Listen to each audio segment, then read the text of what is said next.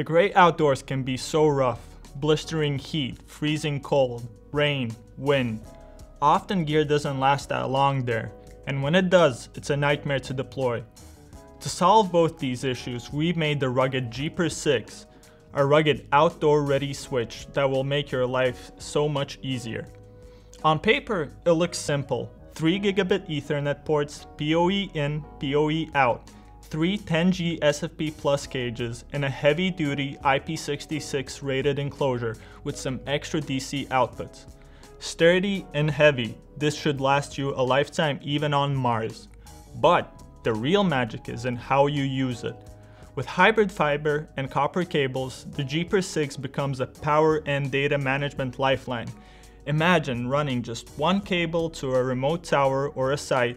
Inside that cable, fiber delivers high-speed data, copper carries the DC power.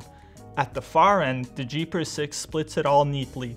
SFP Plus for further long distance uplinks, PoE out for powering cameras or access points, and DC outputs for IoT gear or specialized devices.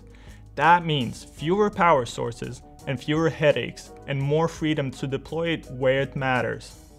Perimeter surveillance systems covering huge territories, university and research campuses, large manor estates, industrial parks, ports, you name it. The Jeepers 6 solves all these cable spaghetti nightmare issues quick and easy. CCTV towers in remote or hard to reach locations. Again, why bother with endless cables when a single hybrid cable will do it? IoT deployments where reliable DC out is more useful than PoE. You could even do solar powered edge setups where every watt and every cable run counts.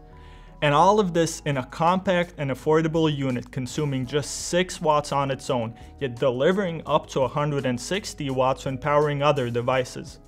The Jeepers 6 isn't just another switch, I mean, look at it. It's a backbone for outdoor connectivity, security, and quick deployments without sacrificing the sanity of your own technicians. The Jeepers 6 will make your life so much easier, even on a tight budget. Contact your MikroTik distributor and reserve your units today.